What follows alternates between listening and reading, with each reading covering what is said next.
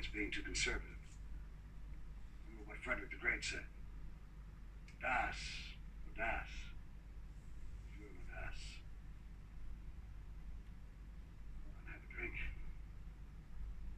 Excuse me, sir, I won't be drinking for the next couple of days.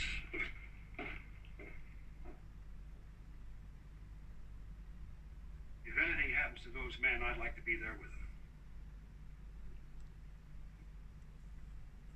Going, about it. I mean, Truscott's right, huh? No? But I do know that you're gambling with the lives of those boys just so you can beat Montgomery into Messina.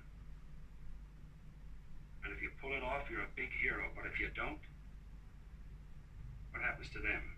The ordinary combat soldier. He doesn't share in your dreams of glory. He's stuck here.